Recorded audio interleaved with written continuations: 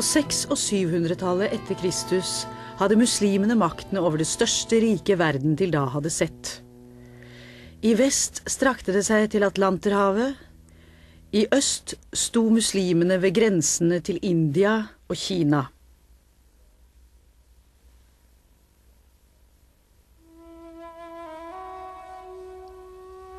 Hele det store mangfold av folkegrupper innenfor rikets grenser var nå gått over til den islamske religion. Det er enkelheten som er islams styrke. Den har ingen innviklet teologi, ingen kompliserte metafysiske begreper. Slett ikke noe som kan sammenlignes med kristendommens forestilling om den hellige treenighet.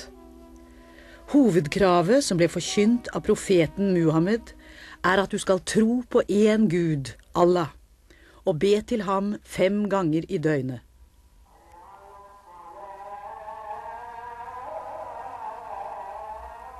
Bønnetimen ropes ut.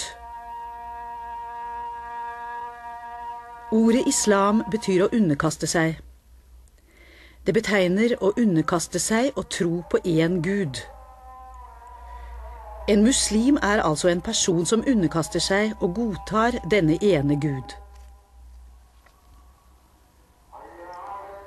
Selv om muslimene betrakter jødedommen og kristendommen som ufullkomne versjoner av deres egen tro, er Abraham og Moses høyt ærede skikkelser. Jøder og kristne er tildelt en spesiell posisjon som bokens folk. Jesus æres av muslimene som profet, men liksom Muhammed anses han ikke som guddommelig. Moskeene utviklet seg fra det stedet hvor Muhammeds første disipler samlet seg for å be, på gårdsplassen utenfor hans eget hus.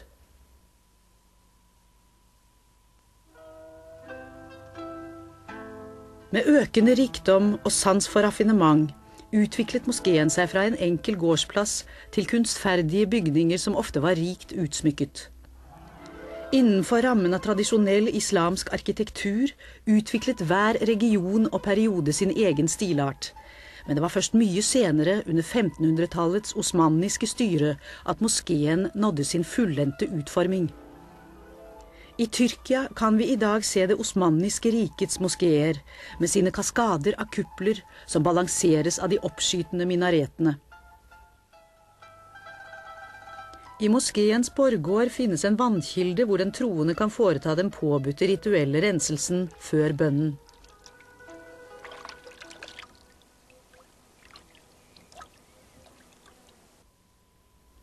Innenfor er det en så stor åpen plass som overhodet mulig for å gi plass til et maksimalt antall gudsdyrkere. Gulvet er ofte belagt med bønnematter. Kvinnene har sin egen avskjermede avdeling for i noen grad å kunne være uforstyrret.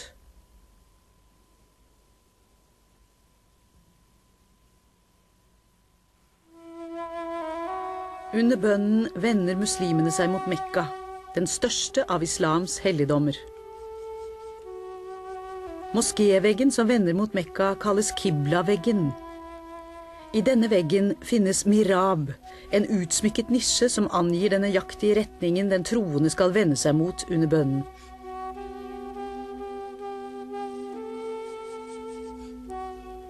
De fleste moskeer har en hevet prekestol, minbar, som gudstjenesten ledes fra. Men moskeen er ikke en vigslet bygning slik som en kristen kirke. Minbar kan brukes til en hvilken som helst kunngjøring. På denne miniatyren fra 1300-tallet taler Djengis Khan, som slett ikke var muslim, fra en minbar til befolkningen i Bukhara.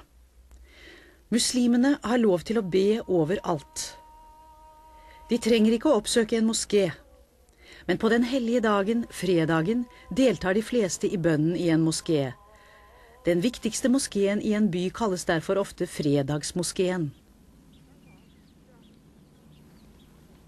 Islam har holdt seg påfallende tro mot sine opprinnelige prinsipper og påbud. Men det har skjedd én viktig utvikling sufismen. Vi kan sammenligne sufiene med de kristne helgener, og mange helligdommer og moskeer er tilegnet slike hellige menn. I et gravkammer i denne bygningen som ligger i byen Konya i dagens Tyrkia, hviler en av de største, Mevlana Rumi. Denne miniatyren viser ham til hest mens han hilser på en venn. Mevlana levde på 1200-tallet etter Kristus, og det var han som grunnla sufi-ordenen Mevlana-dervisjene. De kalles de dansende dervisjer av den roterende dansen de utfører.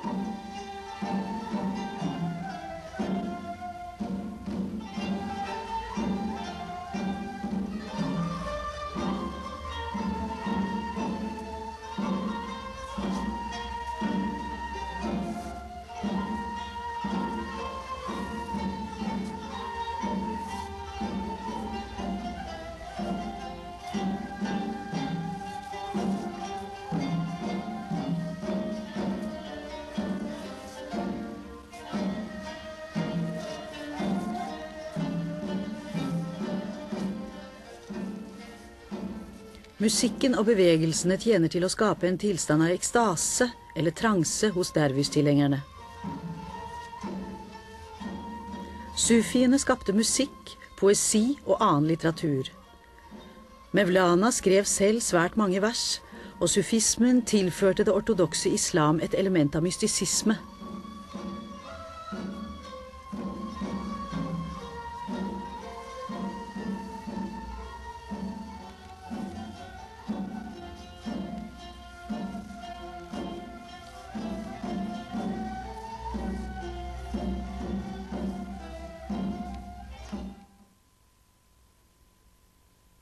Kalifene som styrte middelalderens araberrike, inntok en posisjon som i Vesten ville vært en slags kombinasjon av pave og keiser.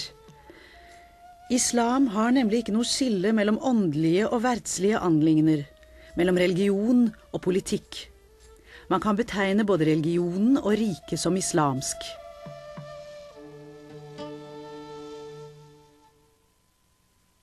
I 661 etter Kristus ble Damaskus i det moderne Syria rikets hovedstad. Med sete i denne byen regjerte kalifene i det mektige Umayyad-dynastiet i 100 år. I år 750 ble umayyadene styrtet av en annen gruppe, abbasidene, som hevdet å nedstamme direkte fra profetens farbror Abbas. De flyttet hovedstaden først til Kufa, deretter til Bagdad i dagens Irak.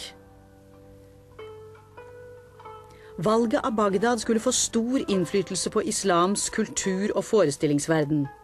Damaskus var nemlig en middelhavsby, sterkt preget av gresk-romersk tradisjon, mens Bagdad en gang hadde vært en del av Persia. Fra nå av fikk islam et mer orientalsk preg.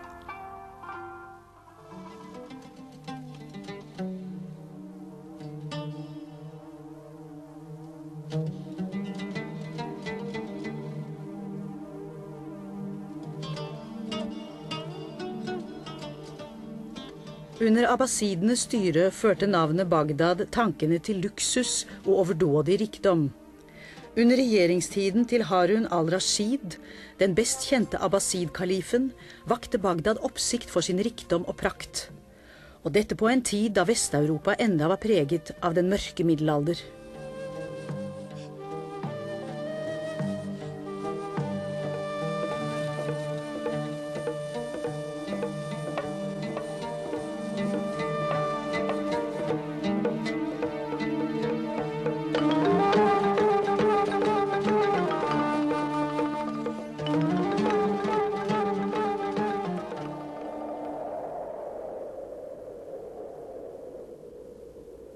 Selv om islams byer ofte var høyt utviklet og preget av luksus, var storparten av det kjempemessige riket ikke stort annet enn ørken og nakne fjell.